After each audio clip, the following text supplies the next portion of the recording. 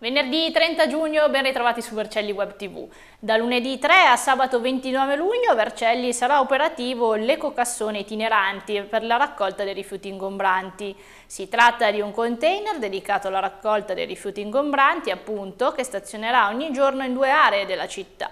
Da lunedì al sabato dalle ore 6 alle ore 12 e dalle ore 12 alle ore 18, coprendo un totale di 12 siti con rotazione settimanale. Riferisco in particolare agli abbandoni degli ingombranti che sono uno dei, dei temi che vediamo spesso eh, problema no? di prossimità rispetto ai cassonetti, vediamo questi abbandoni di rifiuti che non sono correttamente eh, conferiti dai cittadini, per cui abbiamo voluto innanzitutto lanciare queste iniziative e poi adesso mettere anche a disposizione della cittadinanza uno strumento ulteriore rispetto ai centri multiraccolta e al servizio di ritiro ingombranti su prenotazione che è quello dei cosiddetti ecocassoni, o meglio l'ecocassone che sarà a disposizione in 12 punti a rotazione nei giorni di luglio, in, in 12 punti appunto che abbiamo individuato sul territorio vercellese, dando una terza possibilità eh, di, eh, di, di, di, conferire appunto questi, questi rifiuti ingombranti.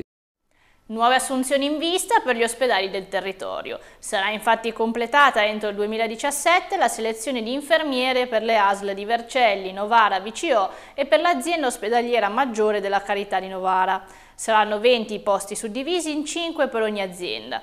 Le domande per partecipare potranno essere presentate esclusivamente online attraverso un'apposita piattaforma informatica. Il bando nei prossimi giorni sarà pubblicato sulla Gazzetta Ufficiale e il concorso sarà poi espletato in autunno. Saranno affidati ai comuni che risultano titolari delle cappelle e restauri delle stesse al Sacromonte di Crea. Anche Vercelli sarà interessata. Vediamo il servizio. Le 27 cappelle che compongono il percorso devozionale del Sacro Monte di Crea, proclamato patrimonio dell'umanità dall'UNESCO, portano su di esse le lapidi con i nomi delle rispettive vicarie della diocesi di Casale Monferrato, cui sono state assegnate a suo tempo.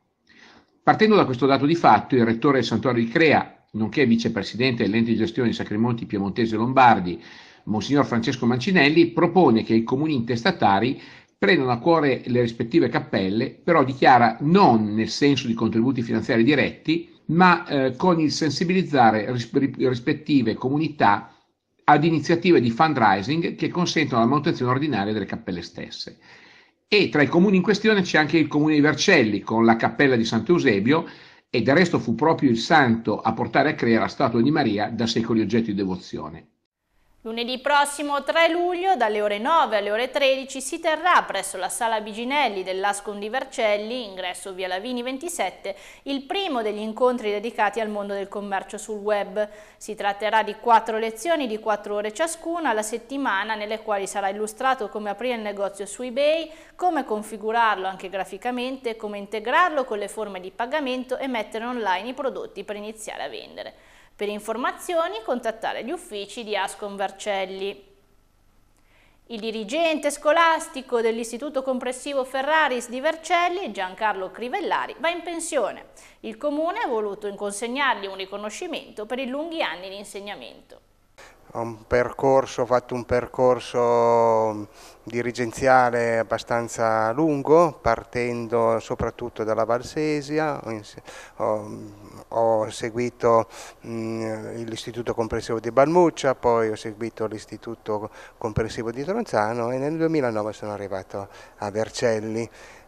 Preside, di un istituto molto importante, diciamo il primo istituto comprensivo di Vercelli e dal 2009 ho iniziato un percorso particolare, eh, essendo un ex insegnante di informatica, di matematica e informatica, ho iniziato subito a incentivare l'utilizzo dello strumento informatico a scuola e, e soprattutto l'anno successivo ho impostato eh, un percorso di ampliamento dello studio dell'inglese. Lascio la scuola perché ho raggiunto i limiti di età, sono prossimo alla pensione, eh, diventerò nonno, eh, seguirò questo percorso di un nonno contento, felice anche se rimane nella scuola un, un, po' del mio cuore perché ho trovato dei collaboratori eccezionali, ho trovato un ambiente, una famiglia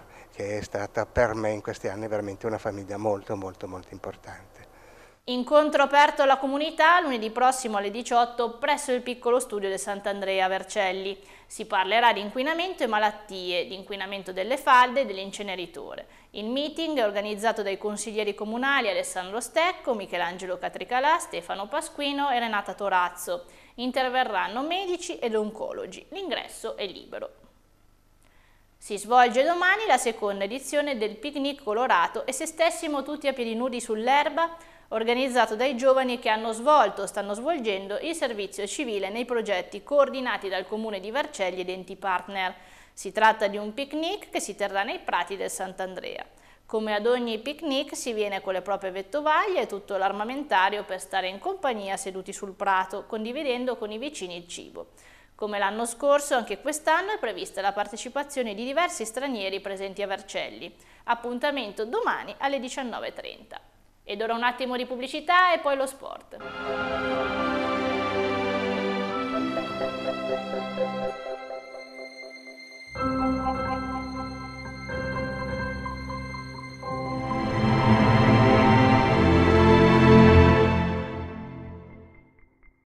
Torna l'Open Day del GSD Canada Torino FC Academy. Appuntamento martedì 4 luglio nell'impianto del centro sportivo comunale Arenzo Maglione di via Cantarana Vercelli. Si comincia alle 17.30. Sono invitati tutti i bambini delle classi che vanno dal 2005 al 2012. L'Open Day è per chiunque abbia voglia di mettersi alla prova. Durante la manifestazione i baby calciatori saranno suddivisi per gruppi e faranno mini allenamenti con i tecnici del GS Canada e avranno così la possibilità di conoscere il mondo di lavorare della società. I dirigenti invece saranno a disposizione delle famiglie per fornire informazioni di qualsiasi tipo in vista della stagione 2017-2018. La partecipazione all'Open Day è gratuita. Per questa edizione del nostro telegiornale è tutto, noi ci vediamo come sempre lunedì sera alle 19 e per il momento un buon weekend a tutti.